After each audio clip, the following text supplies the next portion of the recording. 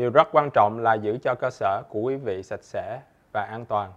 Và điều này cũng đúng với thiết bị mà quý vị sử dụng. Giữ cho toàn bộ cơ sở của quý vị sạch sẽ, bảo trì tốt và sáng sủa, không để vật cản trên lối đi, duy trì chương trình điều quản động vật kết hợp. Theo dõi người thầu và người bán hàng khi họ ở trong cơ sở của quý vị. Những ai không được phép, không được lại gần thực phẩm và hồ sơ. Khóa cửa khu vực tải hàng khi không sử dụng. Dùng máy quay phim và chuông báo ở khu vực có nguy cơ trộm cắp cao.